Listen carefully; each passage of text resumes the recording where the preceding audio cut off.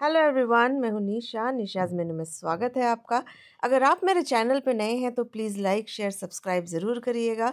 आज मैं बनाने वाली हूँ सरसों का पाल, सरसों का साग और मक्के की रोटी। तो चलिए हम इसे बनाते हैं। आधा किलो मैंने पालक अच्छे से धो ली है और आधे गिलास पानी में हमें एक सीटी लगानी है इससे। इसे पहले हम मैं उबाल के साइड में रख लूँगी। कई लोग इसे आ, मिक्स साथ में ही बना लेते हैं। तो चलिए दूसरा तड़का देते हैं। इसमें मैंने लिया है सरसों आधा किलो सरसों का साग आधा किलो लिया है और एक पाव मैंने लिया है बथुआ। और इसे भी हमें अच्छे से धो लेना है। सबसे इम्पोर्टेंट है धोना। साथ में लिए छः से सात कलियाँ लहसुन की एक इंच का टुकड़ा लिया अदरक का और तीन से चार हरी मिर्च लिए और ये इसी स्टेज पे डालना है तड़के में नहीं डालना है। थोड़े से तेल में हम इसे अच्छे से फ्राई करेंगे सबको। कम से कम सरसों का साग बनने में हमें एक घंटे का टाइम लगता है। आप जितना पेशेंस के साथ इसे बनाएँगे, साग हमारा उतना ही स्वादिष्ट बन के तैयार होगा। तो चलिए इसे हम ढक देते हैं ताकि वो अच्छे से पानी रिलीज़ करे और सॉफ्ट बने। और बीच बीच में हमें इसी तरीके से चलाना है। आप इसे मैशर से या मतनी से बीच बीच में चलाते रहिए। और ये देखिए पालक हमारा पक चुका है। एक से दो सीटियाँ हमें लगानी है और इसे हम ठंडा करने रख देंगे। और चलिए फिर से हम इसे साग को चेक करते हैं और इस तरीके से हमें इसे अच्छे से मथना है। मत आ, मथनी होगी तो आप उससे कर सकते हैं या तो मैशर से इस तरीके से हमें अच्छे से मैश करना है। और अच्छे से प्रेशर के साथ करेंगे तो बहुत ही आता पालक कई लोग साथ में पालक भी इसमें साथ के साथ पका लेते हैं। लेकिन आप इस तरीके से बनाइए, बहुत ही स्वादिष्ट बनती है। जैसे जैसे देखिए साग हमारा पक चुका है या पक रहा है तो देखिए, साग का कलर थोड़ा सा पीला पड़ ही जाता है। तो इसी का रीज़न है कि मैंने पालक को अलग से पकाया हुआ है, ताकि इसका जो हरापन है, वो साग में बना रहे।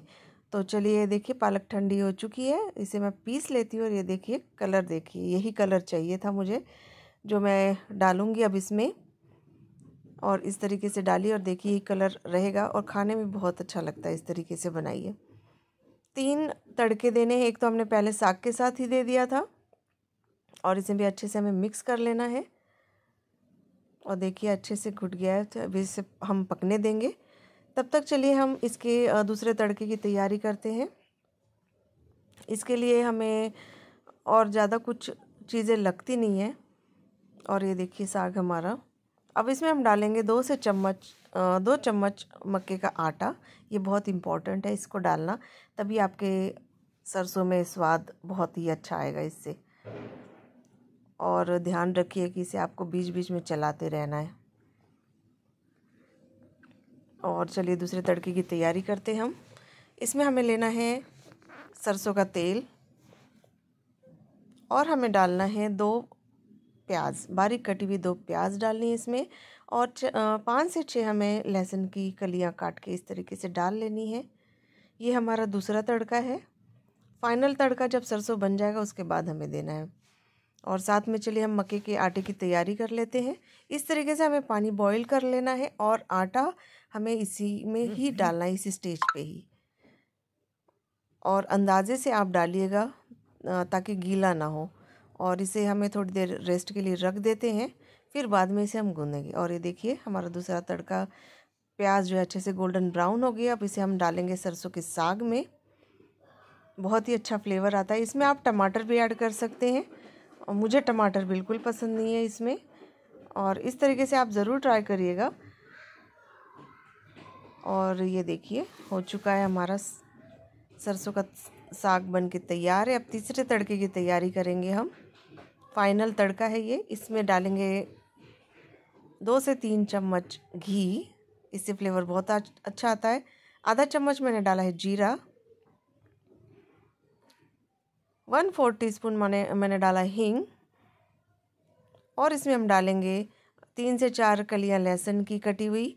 अदरक के छोटे छोटे टुकड़े किए हैं और दो हरी मिर्च डाली है और तीन मैंने लाल मिर्च डाली है, सूखी हुई। बहुत ही अच्छा स्वाद आता है इसमें और ये देखिए, साथ के साथ मैं मक्के के आटे की भी तैयारी कर रही हूँ। आप जितना अच्छा इसे गूँधेंगे उतनी अच्छी रोटियाँ बनेंगी और ये देखिए, तड़का हमारा बन के तैयार है। अब इसे हम फाइनल तड़का दे देते हैं और खुशबू बहुत अच्छी आ रही है और इस तरीके से सारा डाल के हमें अच्छे से मिक्स कर लेना है।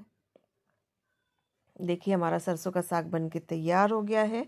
बहुत ही स्वादिष्ट ये बनता है और सर्दियों में तो इसे हमें ज़रूर बना के खाना है क्योंकि इसकी तासील जो होती है वो गर्म होती है ताकि हमारी बॉडी में हीट रहे। तो चलिए, हम बनाते हैं मक्के की रोटी। आटा इसका एक टिप है, बस आप आटा जितना अच्छा गूँधेंगे रोटी हमारी उतनी अच्छी बनेगी। और ये देखिए, मैंने बेलन से अच्छे से बेला है और इस तरीके से बनाएँगे तो बिल्कुल भी आपकी रोटी टूटेगी नहीं। और ये देखिए, तवे पे इजीली मैंने डाल लिया है और इसे हमें अच्छे से सेक लेना है दोनों तरफ़ से। एक साइड हमारी हो चुकी है। और खाने में तो बहुत ही अच्छी लगती है, अगर मक्के की रोटी के साथ आप इसे खाते हैं। इजीली स्टोर पे अवेलेबल अब हर जगह मिल जाता है।